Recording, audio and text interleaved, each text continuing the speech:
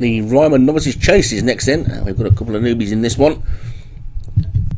Three, I think, and it's three miles and one furlong. And it's a novice five year old plus chase. The top one is Battle at the Hot Gates, Joshua Sutherland, El Destinvo Oh, Il Distintivo, sorry, Obi-Wan, Everybody, Sobriquet, Derek Hinton, Fine Fettle, David Robertson, Hawthorne, James Follis, Hot Port, Paul Rhodes, Rambling Rhapsody, Ghost Zapper, The Aristocrat, Kevin Meehan, Aero Love, Molly Ed Surfer, Cattail, Carla Aragante, and Mare Days, Darren Thompson. So I've got to make sure I've got my teeth in the right way up for this one.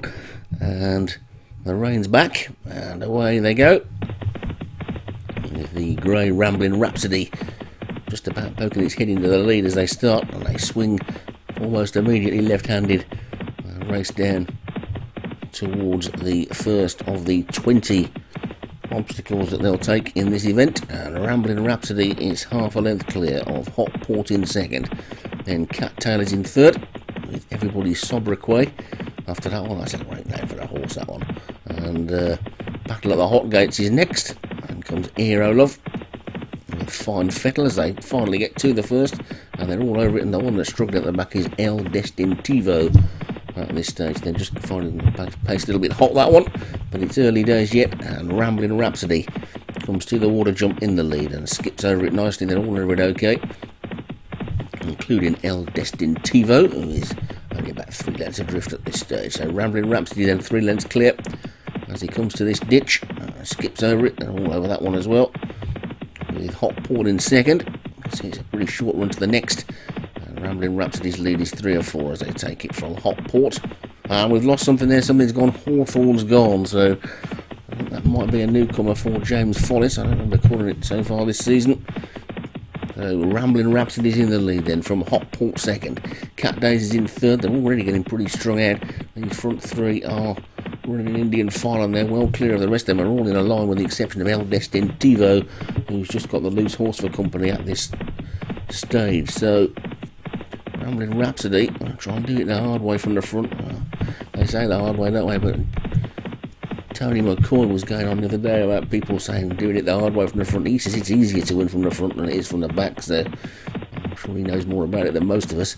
Uh, Rambling Rhapsody is in the lead. It's probably just one of those commentators' lines that have been used over the years that everybody now copies doing it the hard way from the front. So Rambling Rhapsody then doing it the easy way from the front.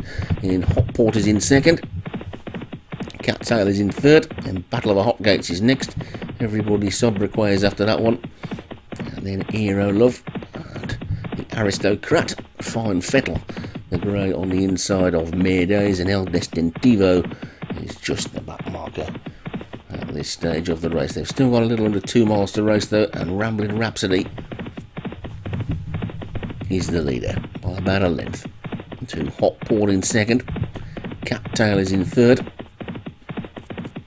The gap then to Battle at the Hot Gates and everybody sobriquet with the Aristocrat on the outside. Aero Love just tucked in between them as they take that one. Will be the second last on the next circuit and race down towards the next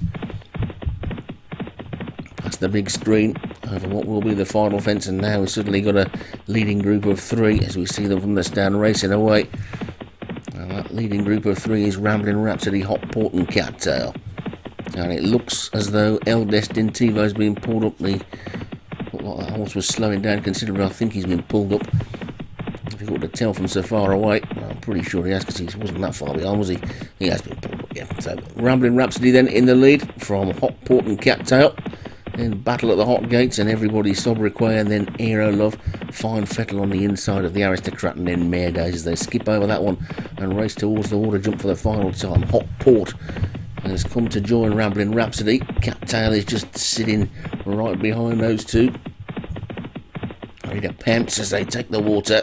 And safely over that one as well with Rambling Rhapsody half a length up on Hot Port. Cattail is next. Battle at the Hot Gates on the inside. Then everybody Sobriquet, Fine Fettle and Aero Love. Little gap back to the Aristocrat and Mare Days when they're all over that one as well.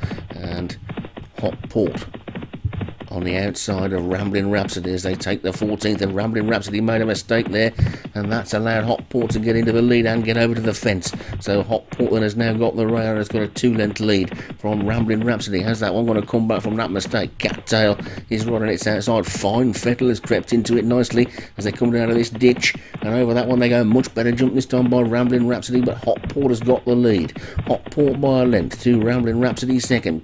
Cattail on the outside third, then Fine Fettle and Battle of the Hot Gates. This is the 16th. Over that one they go. Cattail made the mistake this time. Hotport jumped in best of all and is two clear. Hotport from Rambling Rhapsody in second. Then back in third is Fine Fettle. Cattails after that one. Battle of Hot Gates and then Aero Love Mero Days. Everybody's sobriquets dropped right out of it. But they're down towards the 17th now. That's four from home. And over that one they go. And this time Rambling Rhapsody jumped it best and has poked his head back in front. It's Rambling Rhapsody from Hotport. Then comes Fine Fettle, the aristocrat trying to nag it into it. Then comes Battle of the Hot Gates. Love Cattail looks beaten. Then Days trying to run on. Everybody's sobriquets beaten. He's the third last. Over that one they go. And Rambling Rhapsody's gone too clear again from Hotport, who's now labouring in second. Then comes the aristocrat on the outside in third. Battle of the Hot Gates is there in fourth. Aero Love's trying to run on. Then Days forget the rest. There's only three furlongs left to race. And it's Rambling Rhapsody in the lead. Rambling Rhapsody's got two to jump with Hotport renewing its challenge in second. The aristocrat trying to get going in third. Battle of the Hot Gates fourth. Then Aero Love and Days, Fine Fettle and everybody. Sobriquet and Cat Taylor out of it. It's the second last then there. And over it goes the leader, but a better jump by Hotport. Hotport comes up on the outside of Rambling Rhapsody and just moves his head back in front again. They race down towards the final fence. It's all going to come down to the jump and a much better jump by Hotport. Hotport gets away from it quicker. Rambling Rhapsody trying to dig deep. The Battle of the Hot Gates is running on, but Hotport into the final furlong. Hotport's a length clear. One last attempt by Rambling Rhapsody to get back into the lead, but Hotport looks like he's got this one pretty much sewn up as they race up towards the line. Hot Port is going to take it. Rambling Rhapsody's second. Battle of Hot Gates was third. The Aristocrat was fourth. Everybody sobriquet was pulled up in the straight. But it was a win for Hot Port and Paul Rhodes. Rambling Rhapsody was second for Ghost Zapper. Battle of the Hot Gates for Joshua Sutton third. The Aristocrat for Kevin Minahan fourth. And Aero Love for Molliet Surfer was fifth.